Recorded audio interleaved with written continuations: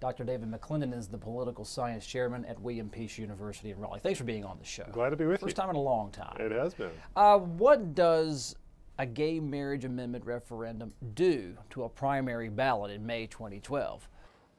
Well, it could do a number of things. First of all, before the primary ballot gets here, there's going to be a tremendous amount of attention in North Carolina from out of state, a lot of money coming in.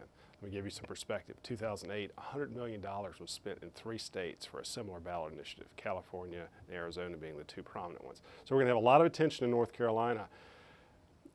The Republican ballots all could be pretty interesting depending on how the presidential prim, uh, primaries go before that. It could be wrapped up, might not be. But nonetheless, it's going to bring a lot of social conservatives out. Um, now, the Democrats, they're the real interesting ones. They may not have a very interesting primary year. I don't see one on the horizon for Barack Obama. Don't see one for uh, Beverly Perdue. So uh, I think it's going to bring a lot of people out who may not have already come out, uh, particularly if the Republican primary is wrapped up. Now, heading in as of now, they're going to prepare the ballots. We've got several months between now and May of 2012. At what point would North Carolina start to see the media campaigns, the ad blitzes? Well, you're going to start seeing probably after the first of the year. I mean, uh, the holidays certainly not going to be a lot of uh, ads and things like that. But first of the year, and then it's going to really be ramping up as we get into March and April. You know, both sides are going to be spending a lot of money. There's going to be lobbying efforts, you know, in all kinds of ways, websites and all kinds of uh, media blitz. How do you see the pitches going if you're someone who is proposing this amendment? Well, they're going to be very nostalgic about uh, marriage and, and going to show it visually, you know, a very traditional couple. They're going to make references to the Bible. Uh, it, it's very much an appeal to the, the real social conservative base here, which is based in religion. On the other side, you're going to see basically appeals to equality. I mean, you're going to say, okay, we have the 14th Amendment to the Constitution guaranteeing equality. It make, may make references to racial justice, back to the civil rights movement. This is, could be a continuation of that.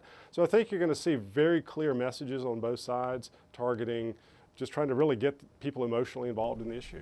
Do you see the grassroots ultimately deciding this issue one way or the other just based on turnout, or will it be just a hot enough primary that you would say a snapshot of the average North Carolina voter will be exposed in this primary vote? Well, I think just because of the potential for how much money could be spent on advertising and other kinds of communications, you know, we could see people who normally would not be primary voters kind of get revved up. And so you know, to me, you know, I think it's going to be a, a, big turnout. Um, and it's going to be the kind of thing where the grassroots efforts are going to be very important. I mean, you're going to have to get churches involved. They're going to be bringing buses to the polls like you would not normally see in a primary election. You're going to see equality groups doing the same thing and on the other side. Do you see the politicians at the state level staying involved in this issue or do they throw it out to the advocacy groups and say, we've passed this bill or we fought this bill, now go pass the amendment or defeat the amendment? I think the sponsors of the legislation are going to stay prominent, um, but I think the many of the legislators, for example, the governor, is probably going to stay in the background. It's just simply a hot button issue, and it the governor's already going to be involved in a, in a heavy duty campaign at that point, and that she's got to focus in on jobs and the economy, the kind of pocketbook issues. Don't know if she wants to get involved in that. The other people in the General Assembly, you even heard their comments this week. You know, not a lot of enthusiasm for the rank and file, but from the social conservative Tea Party leaning people, a lot of enthusiasm. Dr. David McLennan, political science chairman, William Peace University. Thank you, sir. Great to be with you.